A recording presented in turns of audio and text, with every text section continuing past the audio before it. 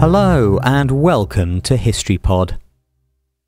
On the 14th of August 1980, workers at the Lenin shipyard in the Polish city of Gdansk were led by electrician Lech Walesa in a strike that led to the formation of the Solidarity labour movement.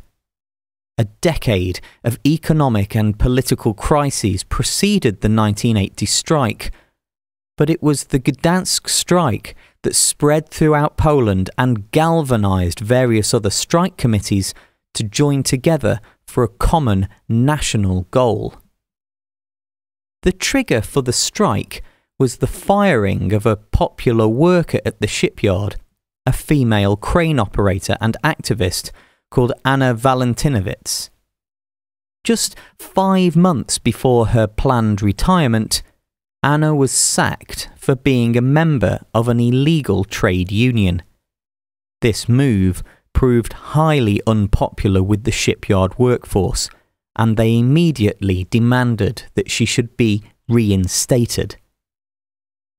Just a week after beginning the strike, a governmental commission began negotiations with the strikers, and on the 30th of August, they and representatives of the Gdansk workers signed an agreement in which many of the strikers' demands were met the fact that national political change, including the resignation of the Polish Communist Party's General Secretary, had come about from the workers' action, emboldened the people of Poland and fueled the formation of the National Labour Union Solidarity.